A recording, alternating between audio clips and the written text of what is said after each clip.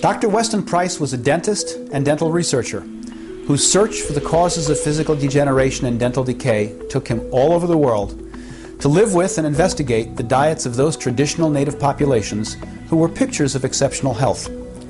This included the Swiss, Eskimos, Polynesians, Africans, New Zealanders, and many others, but always in remote tribal communities which had remained on their traditional diets as they were still far removed from industrialized society and modern refined foods.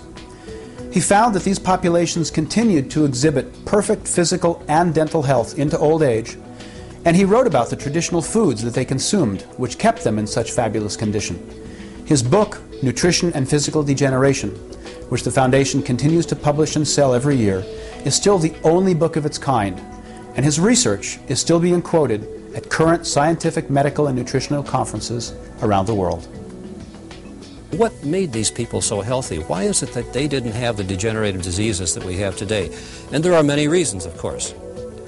But again, getting back to whole foods, and regardless of what kind of diet one has, because Price's peoples were all different in terms of their diet, depending on where they lived, what the climate was, what kind of soil, for example. But the underlying unifying factor with all of them was that they were not eating refined, revitalized foods.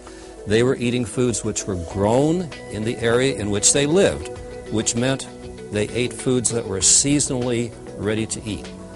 When Dr. Price began his travels back in the 1930s, he found degenerative disease was on the rise back then. Price looked upon the mouth, being a dentist, of course, he looked upon the mouth as being the window to the rest of the body.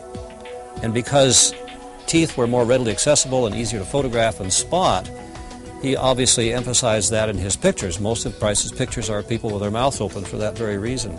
But that was only the tip of the iceberg because the high incidence of cavities was indicative not only of just poor oral health, but it was indicative of overall skeletal health and overall body health as well.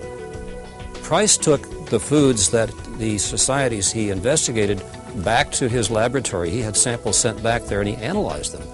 And he found, for example, that the food values in those foods in many of the very, very important nutrients, such as omega-3 fatty acids, which are, as you know, finally being, quote, rediscovered, unquote, almost 10 times higher than what we have in today's diet. Our diets today are very high in omega-6s, which come primarily from grains and grain seed oils. It's a total reversal of the balance between omega-3s and 6s that Price's people had. Dr. Francis Marion Pottenger Jr. was a medical doctor who was best known for his famous 10-year nutritional feeding study that he carried out with many hundreds of cats. The cats were divided into different groups where they were fed either cooked or raw animal-based foods, such as cooked meat versus raw meat, uh, cooked or rather pasteurized dairy versus raw dairy. Um, and the study describes in detail all of the physical and emotional problems which developed in the cooked diet animals but never occurred in those on the healthy raw foods. The cooked diet cats never even got past the third generation since they lost fertility and the ability to reproduce. Just as today, we have more and more clinics specializing in using drugs to help people who have become unable to give birth to children. The study and the book we sell, which describes it, still stands alone in its ability to show the effects of consuming denatured foods as the population currently does at every meal. Pottenger found that 30% raw and 70% cooked uh, didn't fly. it wouldn't maintain health. But 50 50, uh, he still felt you could get along. Those cats fed on a 100% raw diet thrived. The third generation looked just as healthy as the first generation. That's all documented in the Pottenger book called Pottenger's Cats.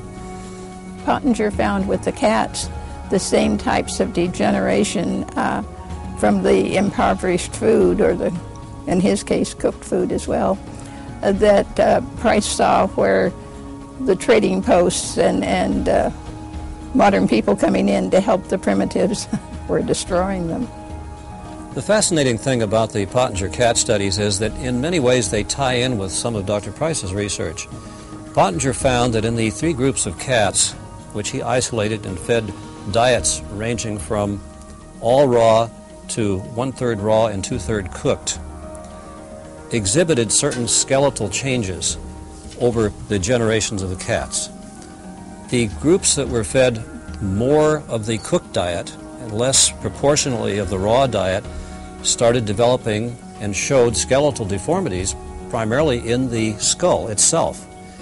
And this is interesting because Price found the same thing with the primitive groups that he visited when they had gone on refined foods he also noticed, and you'll see the pictures in his book, Nutritional and Physical Degeneration, the narrowing of the jaw, the lifting of the upper palate, and the crowding of the teeth, which shows that the diet for cats that were fed the more proportions of the cooked food was not proper for that particular kind of animal. They weren't getting some of the nutrients that were needed to build proper skeletal shapes.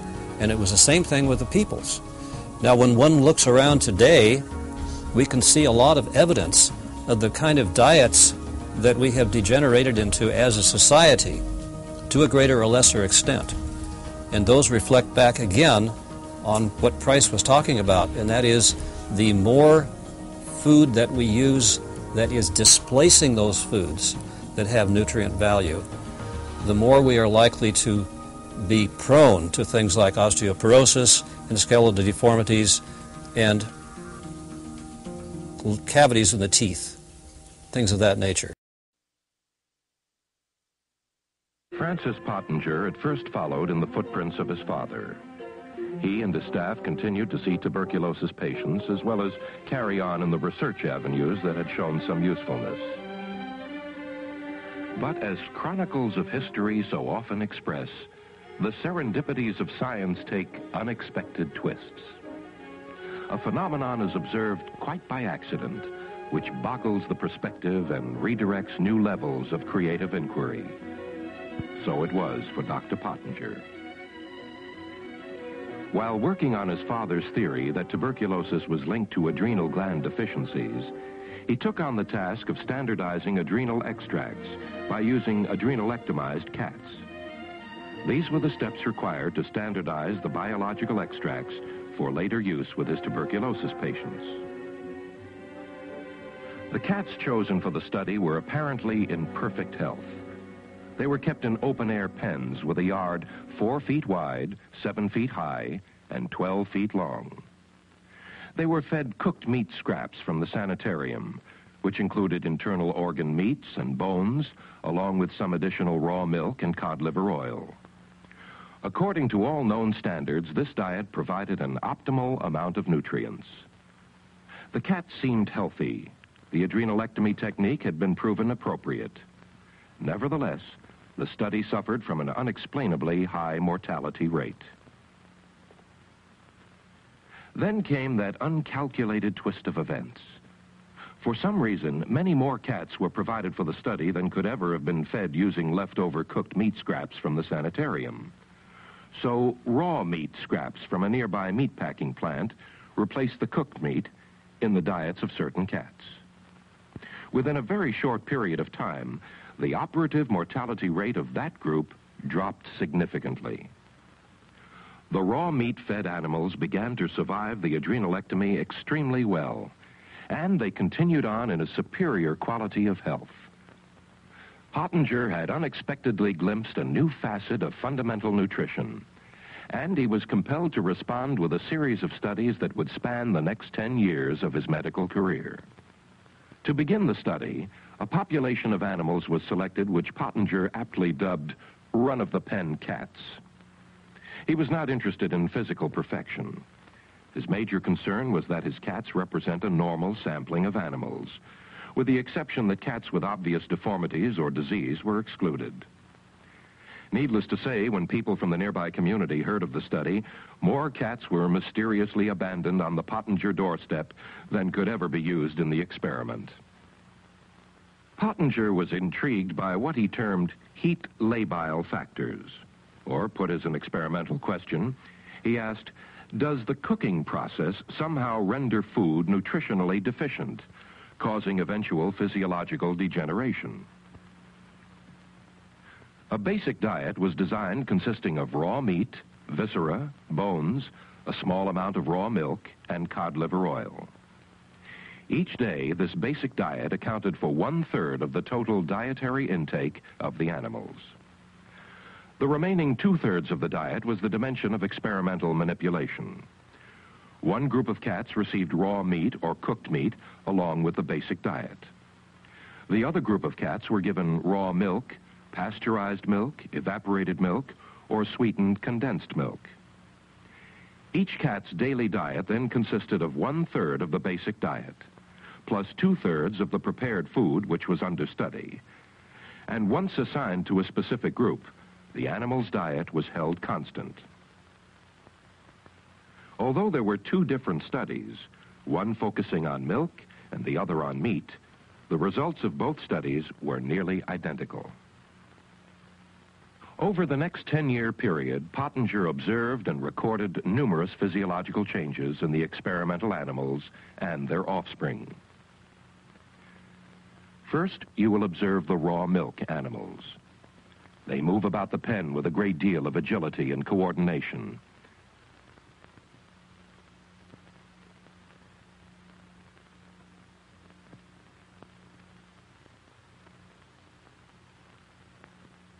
Notice the sheen to the fur and the normal sexual interest displayed toward the male in the next pen.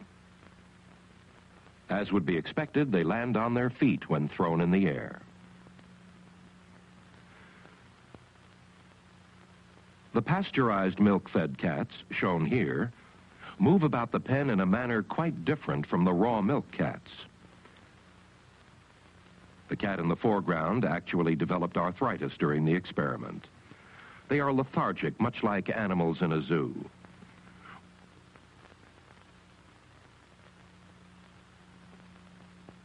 When thrown a short distance, these animals show a slightly impaired sense of coordination. Dental deterioration was also common.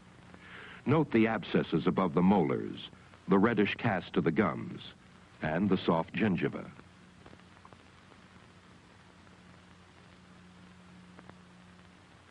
With evaporated milk, there was even greater deterioration. When the study was begun, this cat was better developed than any animal shown thus far. The sweetened condensed milk-fed cats not only had their milk heat processed, but there was the addition of sugar. They are nervous animals. Again, there is marked deterioration in coordination and dental abnormalities. Notice particularly the abscesses and the purple tone to the membrane of the mouth.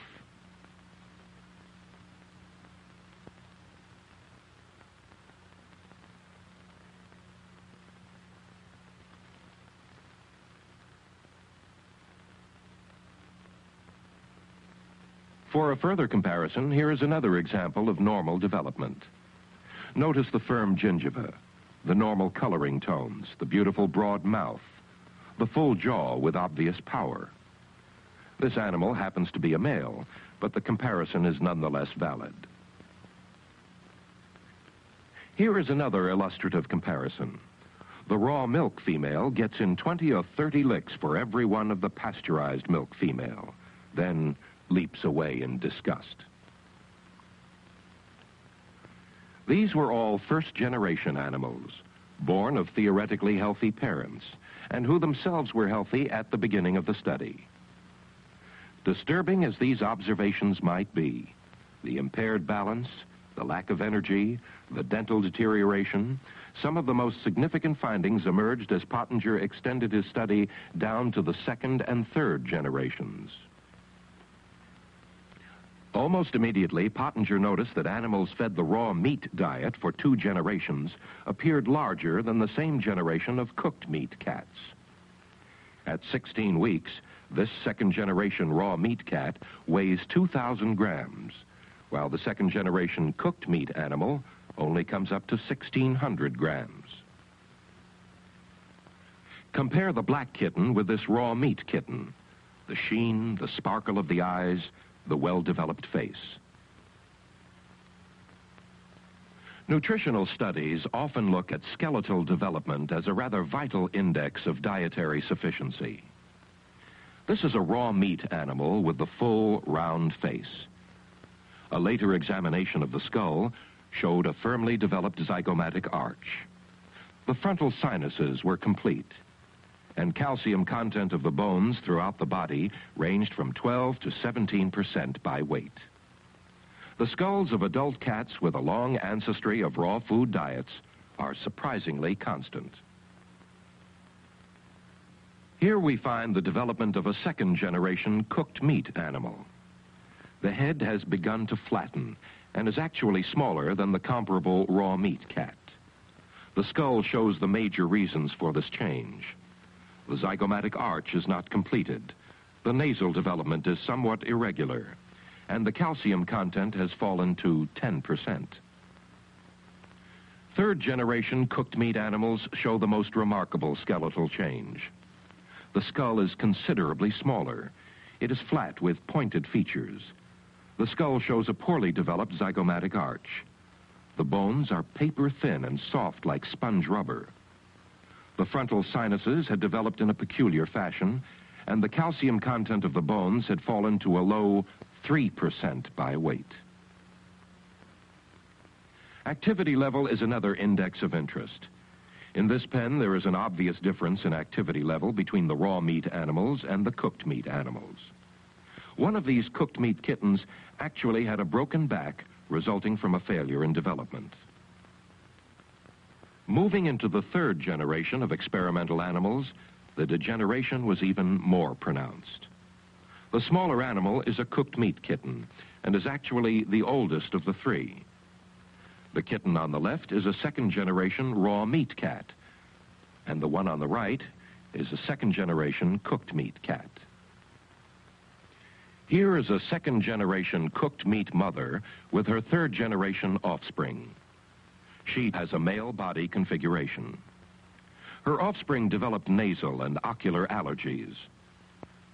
From this same litter came an asthmatic kitten, purportedly the first to be reported in the research literature. Again, there is marked dental deterioration, abscesses, poor coloring, and gingival irritation. Pronounced exhaustion was a typical observation among the third generation of cooked meat kittens, as well as impaired coordination. This third generation cooked meat kitten had over 24 fractures resulting from a failure in development. And finally, this little third generation cooked meat kitten was unable to release its claws from the hardware cloth and probably would have died had not the assistant taken it down. At this juncture in the study, a most interesting development emerged the cooked meat cats were unable to successfully reproduce after the third generation. Most were void of sexual interests, and those that had attempted to mate could only produce stillborn litters. On the other hand, the raw meat animals continued to reproduce healthy offspring generation after generation. The notion that specific nutritional factors in food may be destroyed by heat processing is obviously not far-fetched. Physiological deterioration down the generations is quite graphic. And according to Pottenger, the process was found to be reversible only with great difficulty. He did demonstrate that the animals could make considerable gains towards physiological normalcy, but it took four generations of a raw food diet before the animals regained their native structure and original level of well-being. An interesting sidelight came six months after the experiment's conclusion, when volunteer weeds emerged in the fallow pens. In the raw milk pens, the plants flourished. In the pasteurized milk pens, the growth was somewhat less hardy. Plants in the evaporated milk pens struggled, and the sweetened condensed milk pen speaks for itself. At a later date, navy beans were planted in the respective pens, with parallel results. What are we to make of these numerous observations? I suppose one could easily slip into pessimism when translating these findings into terms of human deficiency. However, there are certain redeeming features that should be examined. From the beginning, the dietary intake of each animal was carefully controlled. Man is rarely restricted to such a high degree because he is omnivorous. Nevertheless, the changes discovered in the Pottenger cats are comparable to many like changes in human beings. The historical work of Dr. Weston A. Price corroborates the Pottenger study by charting the graphic degeneration of primitive tribesmen as they moved from their traditions and dietary customs to the civilized world. And if it is true with human beings, as it is with cats, that nutritionally caused deterioration is passed down the generations, a sobering challenge stands before us. Throughout this study, Pottenger stressed the high degree of dietary control he imposed on his laboratory animals. This is quite an accurate accounting of the facts, with the exception of the one cooked meat cat that somehow got away. Although she did undergo obvious degeneration during her captivity, later she was able to experience a partial physiological recovery while living in the wild. And any fitting epilogue would point out that she compensated in a rather fine manner and carried on in the genteel tradition of her feline ancestry. How old are you? 48. A number of the teeth have decayed cavities in them. Say, you're a fine, big, strong fellow. How old are you? Why, you look as though you were a giant. My, my. Where'd you come from? Copper's. Well, that's the place. The most universal disease in the world is the decay of the teeth. And unfortunately, we have not known the cause until we've gone to the primitive people to find how they prevent tooth decay. Our difficulty is that we are adding too much white flour and sugar and do not get enough of the foods that carry the minerals and vitamins. When the primitive people adopt the food of modern civilization, their teeth decay just as ours do. I've spent several years studying the primitive people in various parts of the world.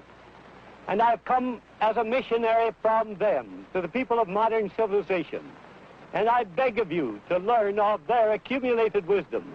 And if you do, you too can have strong, healthy bodies without so much disease as we suffer from these days. To learn more about the work of Dr. Weston Price and to find out about the healthiest diet in the world, log on to westonaprice.org. Become a member. westonaprice.org.